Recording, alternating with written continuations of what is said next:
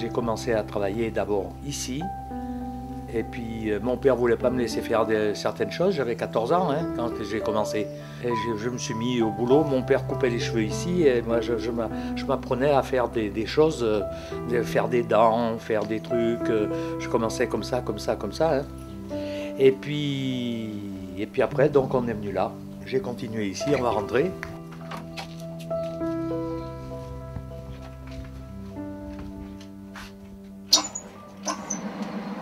Les courroies, c'est pas des trapézoïdales, hein, c'est et puis je la monte comme ça.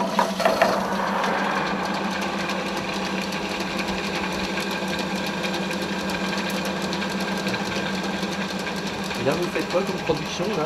Ben, euh, du couteau de table, je vais vous faire voir, il y en a là-bas. Et puis tout ce que je fais, tout ce que je fais euh, en couteau de table, fourchette, ménagère, café, et ainsi de suite. Voilà, de la réparation.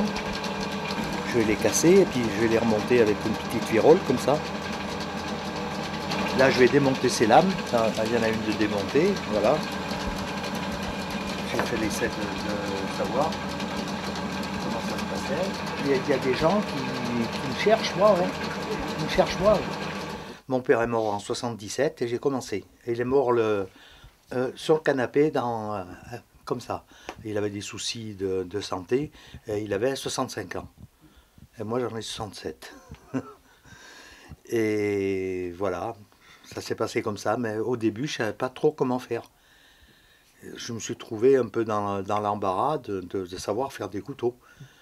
Et je me suis rappelé de certaines choses et puis j'ai mis au point tout de suite. Mais bon, je, travaillais depuis un moment, il n'y avait pas de souci. Mais il a fallu m'y mettre et j'y ai passé des nuits. Eh ben, j'ai appris tout seul. Euh, J'ai vu faire pendant quelques années, mais euh, il y avait des choses que je savais ou que j'avais jamais touchées. Donc je m'y suis mis tout de suite. On a acheté les lames euh, émoutes, on faisait le polissage. On travaillait de- de- de- les lames pratiquement finies. J'avais des finisseurs de lames à domicile. Donc euh, ils me finissaient des lames et puis je les, je les montais là-dessus. Les manches, c'était vous qui les faisiez? Ah oui, non, non, non, non, les manches viennent de... Les manches, c'est ce que je vais monter là-dessus. Et je monte avec des petites viroles parce que c'est des manches en nylon et on ne peut pas calibrer dessus. Vous voyez, ici c'est calibré dessus. Vous voyez, euh, on polie, euh, on travaille comme ça. Et là, je vais mettre des viroles. Euh, Ça, ça passera pas, il faut, que je les franchisse. Ça, ça, ça passera pas là, faut que j'ai... Voilà, et puis après je vais poser ma lame dessus. Et puis je frotte mon manche, je relustre la lame, et puis euh, voilà.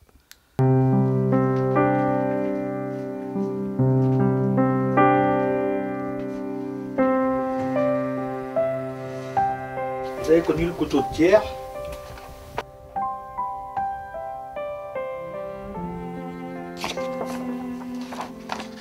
Mais tous ces couteaux là, ces steaks, ces trucs, c'est moi qui les faisais. C'était la création un peu des laguioles, de, ce qui se faisait. Le couteau de pierre, c'était une, grosse boîte, hein. ça travaillait. hein. C'était des collections, voilà, de- des, des trucs comme ça. euh.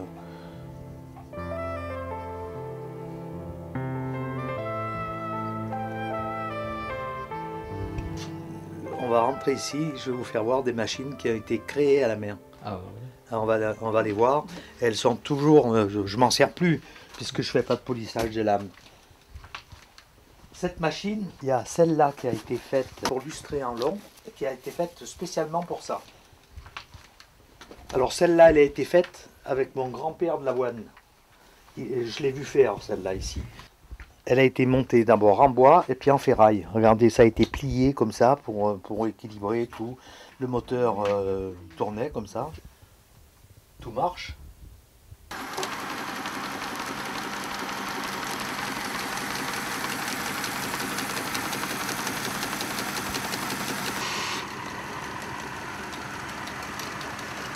Bon, c'est pas un petit peu fort.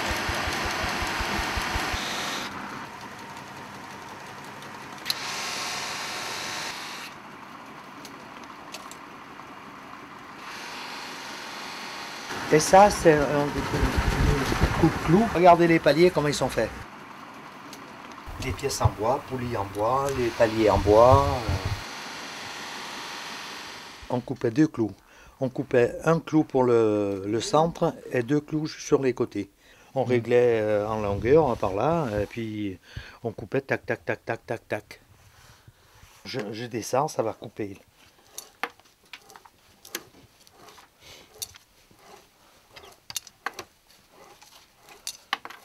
C'est le premier qui a été fait comme ça.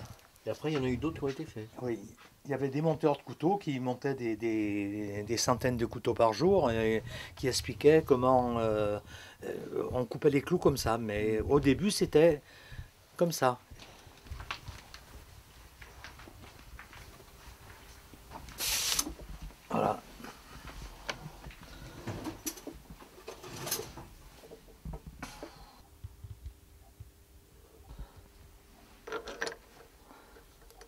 Je vais m'en servir pour démonter les couteaux.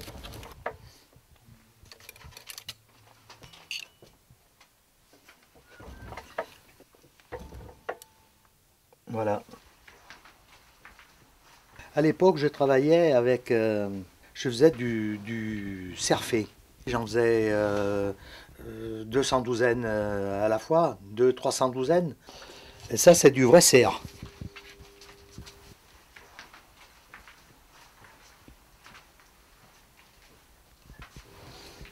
Et voilà. Ça a été difficile un peu ce travail ou bien ça a été, enfin pour vous, et comment vous avez ressenti, comment vous ressentez Non, ça c'est à la mort de mon père, j'en ai un peu chié quand même. hein.